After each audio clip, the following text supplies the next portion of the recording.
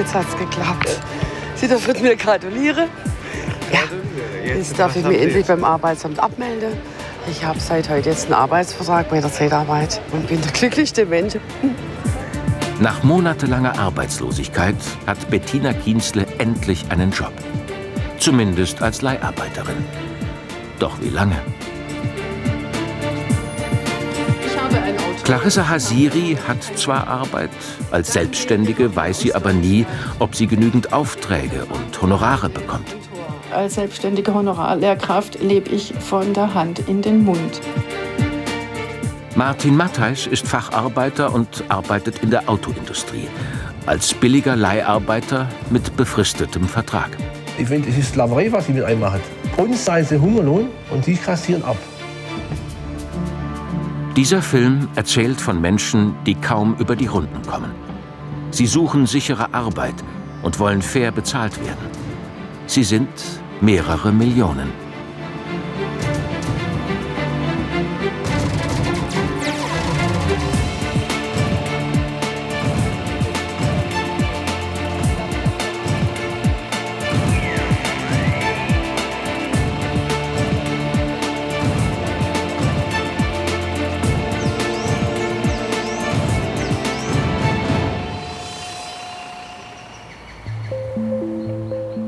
Die erste Hürde hat Bettina Kienzle übersprungen. Sie hat einen Arbeitsvertrag. Ihr Arbeitgeber heißt Randstadt.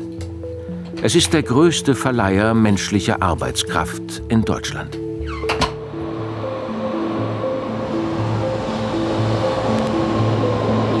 Ja, so haben wir es gewünscht, genau. Jetzt muss die Leiharbeiterin die nächste Hürde nehmen. Probearbeit beim Entleiher, einem Versandunternehmen. Sie ist eine von mehreren Kandidatinnen. Nach Schorndorf. Nächste Station Hauptbahnhof. Man freut sich natürlich, wenn man von so einem Hungerlohn oder dem weniger, was man Arbeitslosegeld bekommt, wenn man dann natürlich den Sprung schafft in die reelle Arbeitswelt und die normale Entlohnung. Das ist natürlich dann schon ein großer Unterschied. Ja. Und von daher, also ich freue mich ganz arg und bin jetzt innerlich auch sichtlich nervös und freue mich für mich und mein Kind, dass es da jetzt vielleicht eine Welle gibt, die uns endlich mal nach oben drückt. Bettina Kienzle ist alleinerziehende Mutter. Sie hat Hotelfachfrau gelernt, doch das ist lange her. Nun hofft sie auf einen Job im Versandhandel.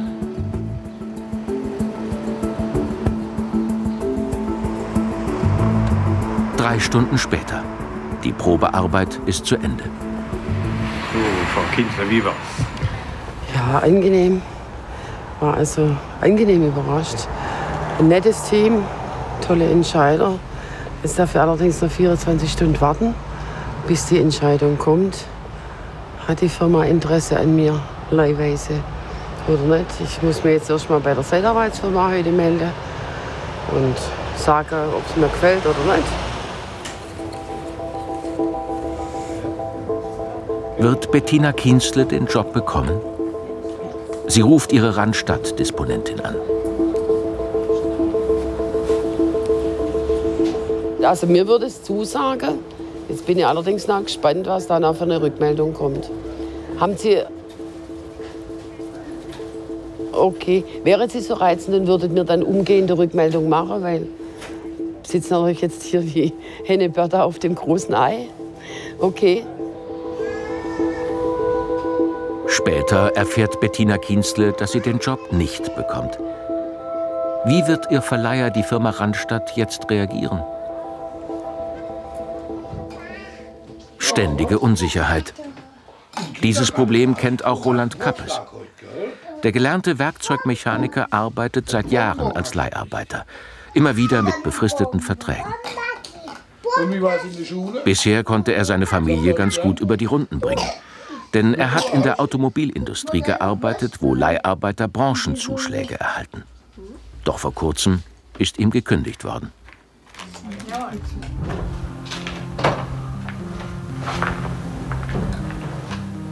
Wir fahren mit Roland Kappes noch einmal zu seinem früheren Arbeitsplatz, zum Lkw-Werk von Daimler nach Wörth. Für die Frühschicht ging es immer schon um halb fünf los. Unterwegs kam der Daimler-Leiharbeiter dann oft ins Grübeln. Denn er wusste nie, ob er einen Anschlussvertrag bekommt. Wenn man immer nur vierteljahresweise verlängert wird und man weiß nicht, wie geht es weiter, geht es überhaupt weiter, wie auch immer, das nagt schon. Es war schon so, dass man auch mal schlecht geschlafen hat. Aber man hat gehofft, dass es weitergeht. Ganz einfach. Diese Unsicherheit belastet mittlerweile über eine Million Leiharbeiter in Deutschland.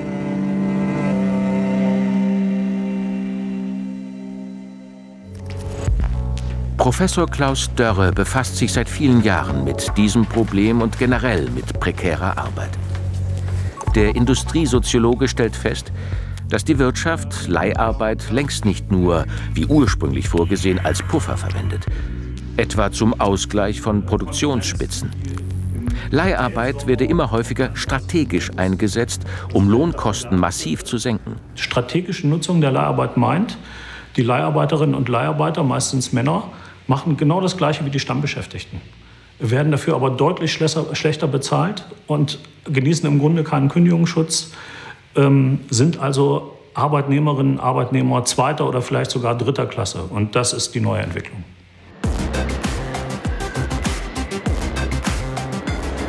Bis vor kurzem hat Roland Kappes mit seinen Kollegen Lkw-Teile verpackt. Die Container wurden in alle Welt verschifft. Obwohl nur Leiharbeiter, Kappes war stolz auf seine Arbeit. Dabei wollte er immer ganz dazugehören, wollte Stammarbeiter sein, im größten Lkw-Montagewerk der Welt.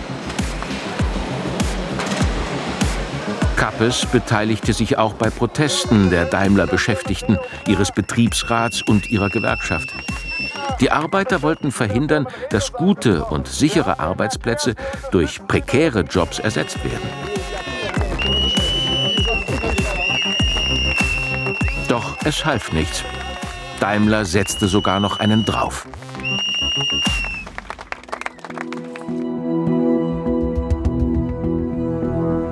Vor wenigen Monaten hat der Konzern 149 Leiharbeitsverträge gekündigt. Auch Roland Kappes war betroffen. Er hat bis dahin insgesamt fast fünf Jahre in Wörth gearbeitet. Als ich die Kündigung bekommen habe, hatte ich Tränen in den Augen. Kann ich ganz einfach so sagen. Ich habe zwei kleine Kinder.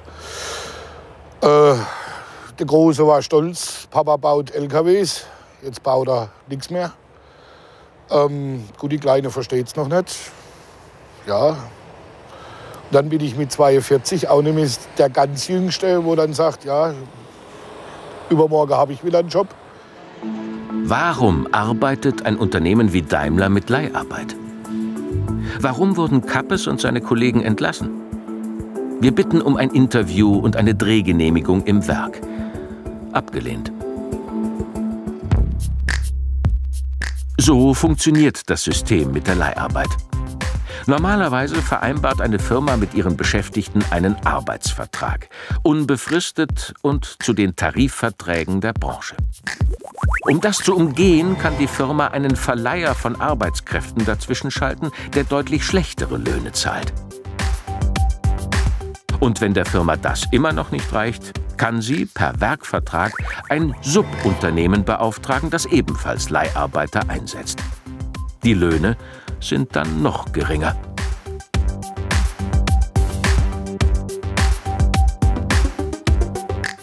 Vorteil für das Unternehmen?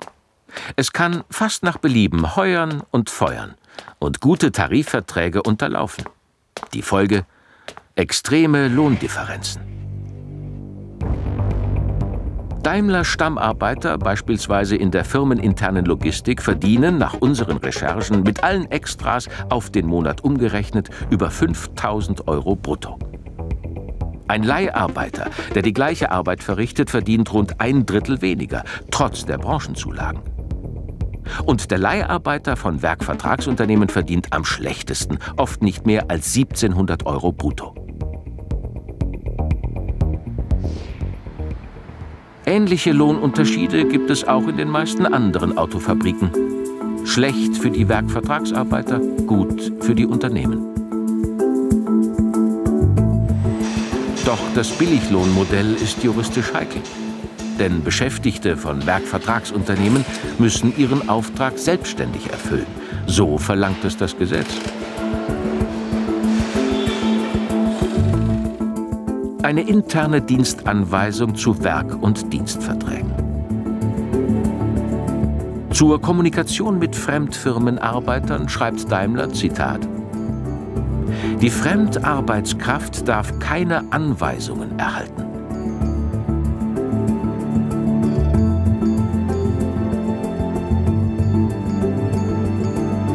Roland Kappes kennt das aus seiner Zeit bei Daimler. Auch er durfte mit Werkvertragsarbeitern nichts Dienstliches besprechen. Wir standen uns Auge in Auge gegenüber und durften nicht miteinander kommunizieren. Ist kein feiner Zug. Oder Kommunikation lief eigentlich nur über E-Mail. Wenn irgendwas schiefgelaufen ist oder irgendwas war oder mal irgendwas Besonderes gebraucht hat, nur über E-Mail. Was dann unter Umständen auch mal zwei Stunden gedauert hat, bis eine Problemlösung da war, die normalerweise in 30 Sekunden gelöst gewesen wäre. Für Roland Kappes völlig unverständlich. Doch nur so ist die Werkvertragskonstruktion juristisch nicht angreifbar. Darauf kommt es den Unternehmen an.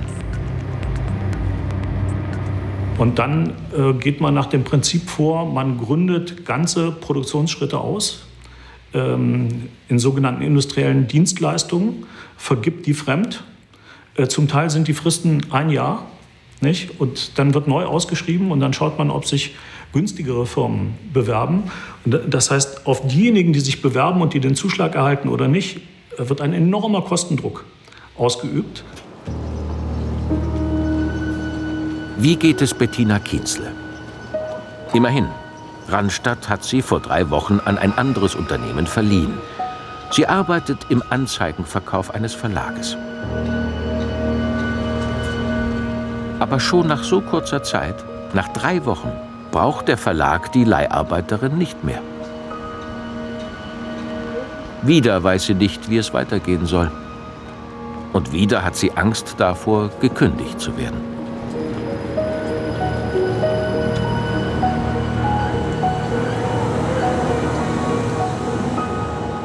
Die Tatsache, äh, dass ich jetzt äh, heute meinen letzten Arbeitstag habe, das habe ich äh, gestern quasi erfahren. Ja. Und von daher ist das dann schon ziemlich zermürbend. Man erhofft sich natürlich auch ein bisschen mehr. Vielleicht, dass man auch noch weiter den Fuß irgendwie in die Arbeitswelt zurückbekommt. Aber ja, man hat dann relativ schnell heute merken dürfen, man gehört nicht dazu. Äh, der Moor hat seine Pflicht getan und er darf jetzt auch gehen. Es geht jetzt so weiter, dass ich jetzt erst einmal äh, out of order gesetzt bin. Ja, ich muss also auf den nächsten Einsatz warten.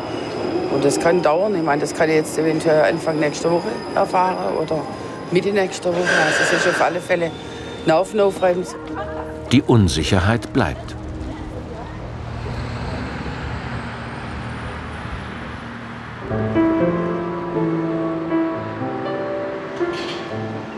Auch Martin Matthijs kennt das.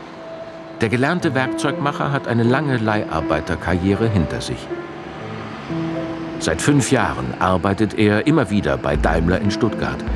Immer über ein Werkvertragsunternehmen und dort als Leiharbeiter. Dabei erlebte Martin Matthijs auch bessere Zeiten. Gelernt hatte er bei der Maschinenbaufabrik Fortuna. Wir zeigen Matthijs einen Film über die letzten Tage dieser Firma. In den Fortuna-Werken hat das Schicksal am härtesten zugeschlagen. Vor 20 Jahren ging Karl Hoffmann noch mit 1200 Kollegen in die Fabrik. 17 Jahre lang hat er dort gearbeitet. Als gut bezahlter und geschätzter Metallfacharbeiter. Gut.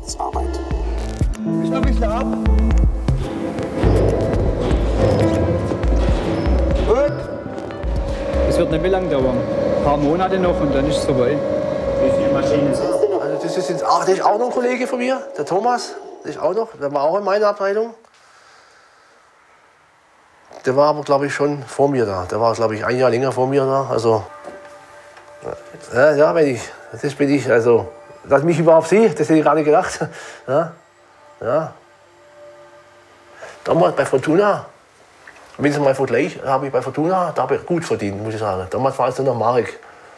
Und habe aber nur eine, da habe ich nur eine Schicht gehabt bei Fortuna. Und so habe ich jetzt drei Schichten. Bei Fortuna habe ich nur eine Schicht gehabt, also eine normale Schicht morgens. Da habe ich morgens um 7 Uhr angefangen und habe hab um halb 4 Uhr Feierabend gehabt. Nur eine Schicht. Fortuna war seine beste Zeit. Mit Tariflohn, geregelten Arbeitsbedingungen, einem unbefristeten Vertrag. Von da an ging es bergab. Befristete Verträge, Leiharbeit, arbeitslos und meistens zu wenig Geld. Matthijs findet dafür einen drastischen Vergleich. Ich finde, es ist Sklaverei, was sie mit einem machen. Es ist das, gerade, also, uns, ich sage uns zahlen sie Hungerlohn und die kassieren ab. Also ich weiß nicht, was die da kriegen. Pauschal oder sonst irgendwas. Ich weiß nicht, keine Ahnung, aber das ist Sklaverei. Auch genauso wie Gewinnbeteiligung, wie die Firma jetzt, zum Beispiel Daimler macht jetzt Umsatz. Wir kriegen gar nichts. Nicht einmal einen Cent kriegen wir.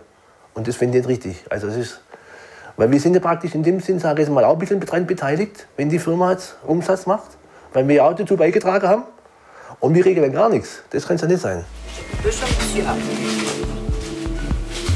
Clementine, da muss ich gerade mal gucken. Beim Einkaufen müssen Matthijs und seine Frau jeden Euro zweimal umdrehen. Bück dich mal, guck mal, was die kostet. Äh, ich glaube, du hast einen Knall. Früher konnten sich die beiden auch mal etwas leisten. 99 Moment. Ich sammle die ganze Woche äh, die Angebote immer, die in den Zeitungen sind und dann suche ich mir raus. Also kann auch passieren, dass ich an einem Tag in drei Geschäfte gehe. Die müssten so, so die Größe haben. Für was arbeite ich überhaupt? Kann ich nichts leisten. Arbeite ich wie verrückt, auf gut gesagt, du kannst auch nichts leisten. Martin Matthijs verdient so wenig, dass er bereits vor Jahren Geld vom Jobcenter bekommen hat. Hartz-IV-Aufstocker nennt man das.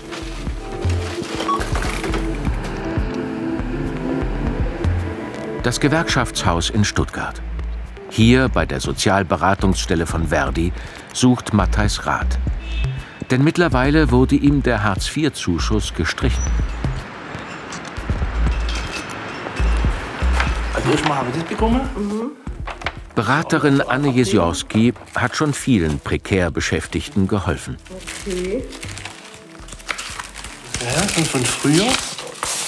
Über, über früher schon bezogen. Ja. Das ist es. Da hatten Sie sogar schon mal Leistung erhalten. Ja, ja. Und, dann ja, und, und dann- damals haben Sie auch schon so wenig verdient. Ja, ja. ja. Und, das, und diese Abrechnung, was ich jetzt eine habe, das ist ganz normale, ohne Schicht. Das nur die normale. Sie haben 1364,14 Euro Nettoverdienst und hätten auf jeden Fall Anspruch auf Hartz-IV-Leistungen. Ja, und damit sind Sie quasi ein klassischer Aufstocker im SGB II.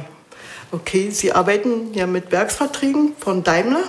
So, Richtig, ja. Und solche Werksverträge sind mir nicht unbekannt. Es kommen einige Leute zu uns, ja, ähm, die, mit, die uns ihre Werksverträge vorhalten oder wir, sie, oder wir das prüfen, ja, ob der Lohn, ob nicht eine Aufstockung möglich wäre. Ja. In dem Moment ist es klar, dass sie ja kein Einzelfall sind. Ja.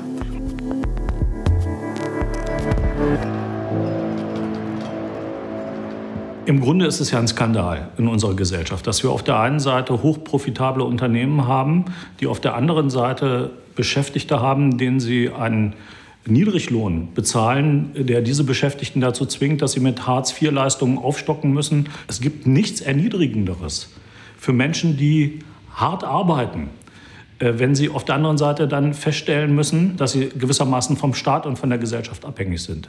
In der Konsequenz bedeutet das eigentlich, dass die Steuerzahler, also wir alle, äh, im Grunde zur Kasse gebeten werden und Kosten, die eigentlich die Unternehmen tragen müssten, abgewälzt werden auf die Gesellschaft. Es sind oft Unternehmen, die hohe Gewinne einfahren. Für Daimler zum Beispiel war 2016 das erfolgreichste Jahr der Geschichte. Der Absatz stieg um 12 Prozent. Der Konzern hat erstmals über zwei Millionen Autos verkauft. Bei der Bilanzpressekonferenz kann Daimler-Chef Zetsche Rekordzahlen verkünden. Daimler hat bei Absatz, Umsatz und Ergebnis mehr erreicht denn je. Das zahlt sich auch für die Stammbelegschaft aus. 5400 Euro Prämie. Die Leiharbeiter und Werkvertragsarbeiter gehen leer aus.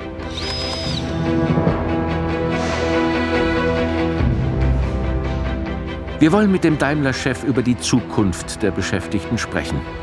Wir hätten gerne erfahren, ob es stimmt, dass der Konzern weitere Stammarbeitsplätze auslagern will. Doch Zetsche ist zu einem Interview nicht bereit. Auch schriftlich beantwortet Daimler unsere Fragen nicht. Wie geht es weiter mit Bettina Kienzle? Ihr Verleiher hat sie mittlerweile zu zwei weiteren Arbeitsstellen geschickt, einem Internethändler und einem Vertriebsunternehmen. Allerdings immer nur für wenige Tage. Randstadt teilt uns auf Anfrage mit, generell gelte, ob ein neuer Auftrag da ist oder nicht, der Zeitarbeitnehmer bekomme sein monatliches Grundgehalt. Doch dann erhält Frau Kienzler eine Mail ihrer Disponentin. Ihre Einstellung bei Randstadt. Ah, das, das schicke schick ich mir jetzt gute Grüße fürs neue Jahr, oder? Liebe Frau Kienzle, es tut mir leid, aber ich muss nun eine Entscheidung treffen, die ich Ihnen gerne vorab mitteilen möchte. Wir werden Sie innerhalb der Probezeit kündigen. Die Kündigung werden Sie voraussichtlich im nächsten Jahr, äh, in der nächsten Woche erhalten. Ich wünsche Ihnen für das neue Jahr nur das Beste und viel Erfolg mit freundlichen Grüßen. Good to know you. Super. Bettina Kienzle ist am Ende mit ihren Nerven. Sie ruft einen Betriebsrat von Randstadt an. Ja, ich habe jetzt äh, nur einen Teil mitbekommen. Ich habe nur gehört, dass Sie äh, zurzeit noch in der Probezeit äh, im Unternehmen Randstadt beschäftigt sind, ja. dass Sie wohl mehrere kurzfristige Einsätze hätten und jetzt äh, wird darüber ja, gesprochen, äh, dass Sie gekündigt werden sollen. Haben Sie denn schon eine Kündigung erhalten? Also ich habe jetzt nur mal so ein Vorab erhalten. Also wenn ich Pech habe, ich in der zweiten KW bekomme ich die Kündigung. Und so kommt es. Im Schnitt, so Randstadt, beschäftige man die Leiharbeiter 14 bis 22 Monate. Ist das typisch für die Branche? Andere Unternehmen sind mit der Kündigung oft noch schneller, sagt dieser Disponent, der bei einem großen Verleiher arbeitet. Aus Angst um seinen Arbeitsplatz will er nicht erkannt werden. Man hat als Personaldienstleistungskaufmann hat man extremen Druck, weil man muss natürlich seine Aufträge erfolgreich abschließen, Aufträge finden, ähm, Gewinn bringen für das Unternehmen, arbeiten. Und dadurch hat man natürlich die Schwierigkeit, ähm, nonstop in einer Drucksituation zu sein. Da die Kündigungsfrist nur fünf Tage liegt im Schnitt äh, für einen Leiharbeitnehmer, ähm, kann jemand auch jahrelang im Einsatz sein, aber bleibt er dann ohne Einsatz und ohne Auftrag. Seit, ähm, seitdem ich in der Branche bin, seit 1999, ähm, hat man sehr viele Schicksale, negative Schicksale dann auch mitbekommen, wo man aufgrund ähm, der Wirtschaftlichkeit die Mitarbeiter entlassen musste, wo man äh, Druck aufbauen musste auf die Mitarbeiter und dadurch hat man sich natürlich selber nicht gut gefühlt ähm, und hatte auch ein schlechtes Gewissen bei der ganzen Sache. Das ging bis dahin, dass wenn man Leute auf der Straße gesehen hat, dass man die Straßenseite gewechselt hat, weil man denen natürlich nicht begegnen möchte. Bettina Kienzle ist jetzt wieder arbeitslos und muss sich bei der Agentur für Arbeit melden. Das Los vieler Leiharbeitskräfte. Denn die meisten werden nur für wenige Monate eingesetzt und innerhalb der Probezeit gekündigt. Dann habe ich Sie hier angemeldet. Bitte hier im Wartebereich warten. Sie werden gleich aufgerufen, ja? Kienzle kennt das Prozedere. Eigentlich will sie keine Leiharbeiterin mehr sein. Doch die meisten Angebote der Agentur stammen von Arbeitsverleihern. Und dann findet sie diese Anzeige. Randstadt. Randstadt sucht Empfangssekretärin. Und ich krieg Kündigung. Das ist doch unfassbar. Also es sind halt vorwiegend Zeitarbeitsunternehmen, die halt die Fachkräfte dann vermitteln wollen. Ja. Unter anderem auch dieses Zeitarbeitsunternehmen, was mir erst Jahresende gekündigt hat.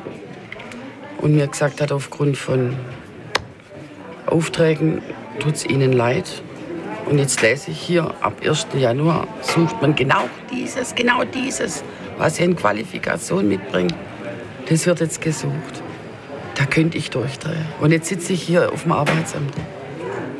Anstatt vermittelt zu werden und einfach nur einer geregelten Arbeit nachzugehen. Das ist unfassbar. Die Anzeige stammt von einer anderen Randstadt-Niederlassung. Sie ist nur wenige Kilometer von hier entfernt.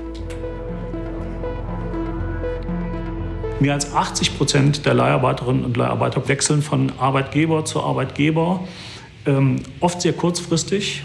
Äh, das heißt, die Arbeitsverhältnisse sind oft unter drei Monaten. Äh, sie müssen sich ständig auf neue Kolleginnen und Kollegen einstellen, auf neue Vorgesetzte, auf neue Arbeitsbedingungen. Das heißt, sie müssen enorme Flexibilisierungsleistungen erbringen, die, wenn man es genau nimmt, eigentlich dazu führen müssen, müssten, dass sie besser bezahlt werden als Stammbeschäftigte. Und das Gegenteil ist aber letztendlich der Fall. Hohe Flexibilität auf Kosten der Beschäftigten. Auch Clarissa Hasiri spürt das. Sie arbeitet als Lehrerin auf Honorarbasis. Hasiri unterrichtet Deutsch für Ausländer. Außerdem gibt sie Integrationskurse für Flüchtlinge. Im Unterricht leistet Clarissa Hasiri das Gleiche wie angestellte Lehrerinnen und Lehrer. Doch das Honorar ist viel geringer. Und Hasiri muss immer neue Aufträge suchen. Das müssen ihre verbeamteten und angestellten Kollegen nicht. Oft musste die Honorarlehrkraft schon für mehrere Bildungsträger gleichzeitig arbeiten. Also in den letzten ähm, Jahren hatte ich mehrere Auftraggeber. Ja, und das Ganze kann in ziemliche Hektik ausarten. Wenn man zum Beispiel beim einen Auftraggeber eine Unterrichtsendzeit um 13 Uhr hat und beim nächsten Auftraggeber um 13.15 Uhr. Wenn es schlecht läuft, im besseren Fall 13.30 Uhr wieder startet. Neben dem Hin und Her kümmert sich Clarissa Hasiri um ihre Tochter. Und jetzt genau, wo muss man umsteigen? Wunderbar. Start und Ziel sind gelöst. Sehr schön.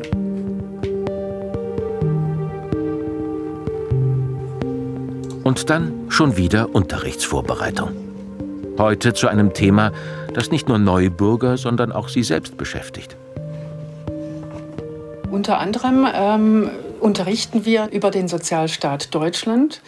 Der Sozialstaat, der für seine Bürgerinnen und Bürger sorgt. Zum Beispiel, wenn sie mal krank werden oder wenn sie ähm, ihre Arbeit verlieren, dann gibt es da Möglichkeiten vom Staat aufgefangen zu werden. Ich erzähle das meinen Teilnehmern schön. Und was ist eigentlich mit mir? Ich habe keine Lohnfortzahlung im Krankheitsfall.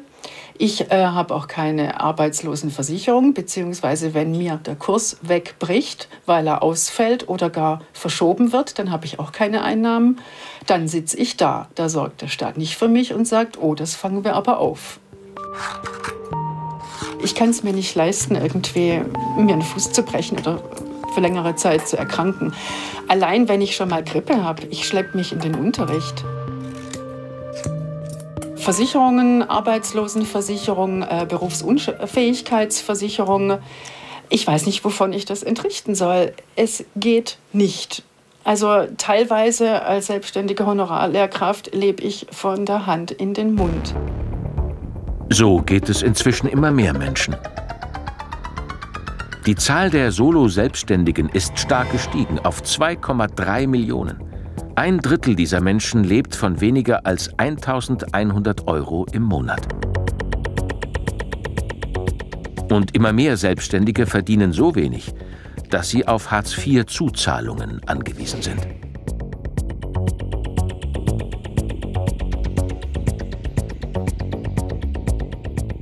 Mit der Solo-Selbstständigkeit kann man gewissermaßen den allgemeinen gesetzlichen Mindestlohn aushebeln, weil der gilt ja nicht für selbstständig. Beschäftigte, die sind nicht in einem Lohnarbeitsverhältnis.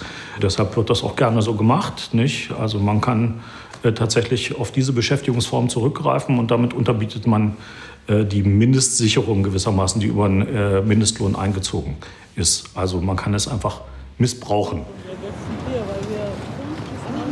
Meist sind Solo-Selbstständige isoliert. Selten organisieren sie sich. Wie hier die Honorarlehrkräfte bei einer Protestaktion der Gewerkschaft Erziehung und Wissenschaft. Wir sind alle qualifiziert.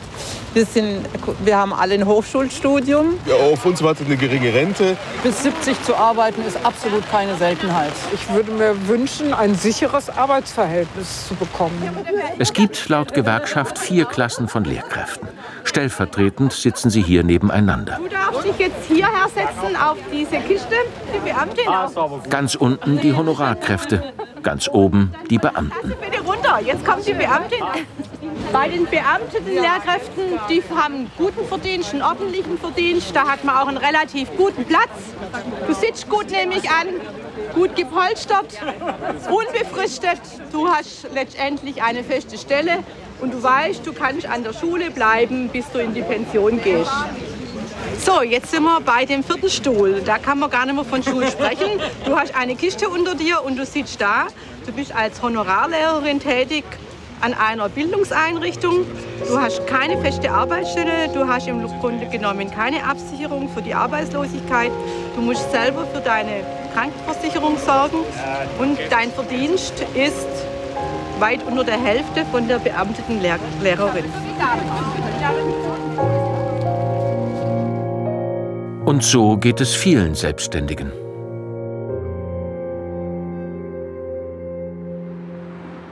Manchmal werden sogar illegale Geschäfte mit der Selbstständigkeit gemacht. Wir sind ganz unten angekommen. Razzia in einem Arbeiterwohnheim in Esslingen.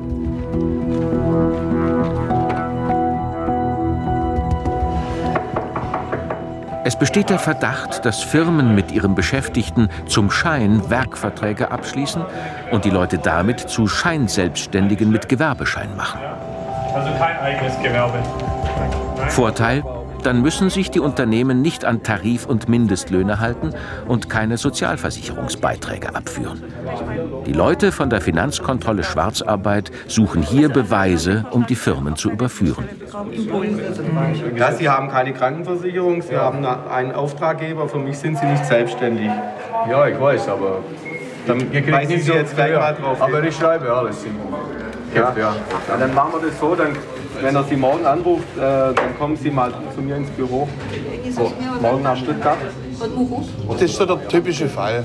Man holt jemanden, der ist billig, man hilft dem, Gewerbeanmeldung, man hilft ihm, so eine Wohnung oder eine Unterkunft zu finden. Dass sie keine Rechnungen schreiben können, schreibt man nur Rechnungen für die Leute. Sie hat überhaupt keine Arbeiterrechte, die es eigentlich gibt.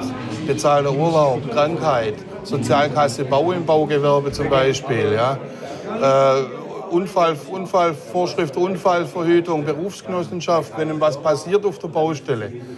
Also der hat keine Rechte mit seiner Gewerbeanmeldung, hat er quasi alle Rechte abgegeben. Scheinwerkverträge und etliche andere Verstöße. Die Beamten kontrollieren zwar immer wieder vor Ort, an Baustellen, in Schlachthöfen, in der Gastronomie, doch es gibt viel zu wenig Kontrolleure. Außerdem sind die Strafen für die Firmen ziemlich harmlos. An den illegalen Praktiken hat sich deshalb nur wenig geändert. Üben Sie noch eine andere Tätigkeit in Deutschland aus? Eigenes Gewerbe? Wir prüfen in allen Branchen. Und in allen Branchen, sei es Gastronomie, Reinigung, Bau, in den Dienstleistungsgewerbe, stoßen wir auf diese Solo-Selbstständigen, und müssen dann prüfen, wenn es Anhaltspunkte gibt für Scheinselbstständigkeit, was vorliegt. Und diese Prüfung kann man wirklich sagen, diese Feststellungen, die wir treffen, das ist ein Kampf gegen Windmühlen. Möchten Sie sich das noch, noch mal durchlesen? Was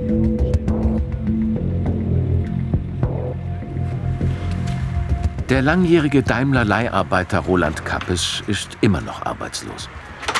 Termin bei einem Vermittler der Agentur für Arbeit. Wann haben Sie sich beworben oder wie viel Zeit ist vergangen von der Bewerbung, seit der Eingangsbestätigung von der, von der Firma, von der ältesten, sage ich mal? Ich habe mich so bei ca. 25 Firmen beworben. Mhm. Habe ungefähr 20 Absage bisher. Mhm. Und die anderen fünf haben noch nicht wirklich geantwortet. Okay. Kappes hofft auf einen unbefristeten Arbeitsvertrag und nach Möglichkeit keine Leiharbeit mehr. Mit. Sie haben das ja komplett mit mir durchgesprochen. Ja, dann wünsche ich Ihnen viel Erfolg bei den Bewerbungen und bis zum nächsten Mal. Dankeschön. Tschüss. Tschüss. Der Metallfacharbeiter sucht auch im Internet oder über Zeitungsanzeigen. Er hört sich bei Bekannten um. Aber wenn es Angebote gibt, dann meist im Niedriglohnsektor. Ja, wenn ich dann im Internet schaue oder auch in der Zeitung, dann sind in dem Bereich, den ich beherrsche, sind dann 75, 80 Prozent, wie auch immer, sind Leiharbeitsfirmen. Alles gut, es gibt natürlich auch Ausnahmen, aber das ist, Leiharbeitsfirmen sind die Regel. Ob jetzt im technischen Bereich oder im logistischen Bereich. Und äh, ja, was anderes gibt's fast nicht mehr. Doch. Porsche in Stuttgart-Zuffenhausen. Hier hat der Betriebsrat durchgesetzt, dass zumindest in der Produktion kein Leiharbeiter mehr eingesetzt wird. Männer wie der Logistikarbeiter Charles Munguet haben einen unbefristeten Vertrag und gehören damit zur Stammbelegschaft. Wenn man vergleicht die Situation mit anderen Firmen bei Porsche, Porsche ist Paradies. Früher war Charles Munguet Leiharbeiter. Mehrmals bei Daimler und dann bei Porsche. Immer mit der Unsicherheit, dass sein Vertrag nicht verlängert oder dass ihm von heute auf morgen gekündigt wird. Vorher war es schwierig. Als Leiharbeiter, du kannst dein Leben nicht planen. Jetzt, ich bin sicher, ich kann mein Leben planen. Ich kann was bauen für die Zukunft, für meine Rente und für meine Familie. Charles Munguet ist happy. Und mit ihm viele ehemalige Leih- und Werkvertragsarbeiter bei Porsche in Zuffenhausen. An das Leben als Leiharbeiter erinnert er sich nur ungern. Bei der Essen in der Kantine, sie zahlen mehr. Manche Firmen sie haben keine äh, Klamotten für, für, für Kabine für Klamotten. Sie haben ab keine Arbeitskleidung. Sie sind behandelt wie eine Ware. Sie kommen nur arbeiten und fertig. Sie, haben, sie bekommen keine Weihnachten, keine Urlaube, keine Prämie. Obwohl, sie haben beteiligt für diesen Umsatz. Rosa. Hallo. Alles klar? Alles klar. Uwe Hück, der Betriebsratschef, setzt sich für die Kollegen ganz unten ein. Auch für Beschäftigte von Fremdfirmen. Für sie hat der Betriebsrat ein Mitbestimmungsrecht durchgesetzt. So musste Porsche den Vertrag mit dem Getränkeversorger kündigen, weil der Dumpinglöhne gezahlt hat. Die betroffenen Beschäftigten arbeiten jetzt für einen anderen Dienstleister und erhalten einen besseren Lohn. Menschen sind, sind äh, keine Kostenfaktoren, sondern Erfolgsfaktoren. Diese Einstellung brauchen wir wieder. Ohne die Menschen werden wir in der Wirtschaft nichts erreichen. Gehen wir mit den Menschen vernünftig um, dann geben sie auch alles. Und ich glaube, dieses brauchen wir wieder. Wie ich immer sage, das Trikot schwitzt nicht von allein, du musst schon was tun. Aber und, also menschenunwürdige Bedingungen herbeizuführen, muss die Gewerkschaft und der Betriebsrat stoppen. Das ist ihre Aufgabe und da werden wir alles tun, dass das aufhört. Wir wollen, dass ein Unternehmen reich wird, aber wir wollen auch, dass die, die die reich machen, auch vernünftig mit den Menschen umgegangen wird. Doch seit Jahren werden immer mehr Menschen in Deutschland in unsichere Arbeit gedrängt. Heute gehört schon jeder Fünfte zum Niedriglohnsektor. Porsche Zuffenhausen ist da die große Ausnahme.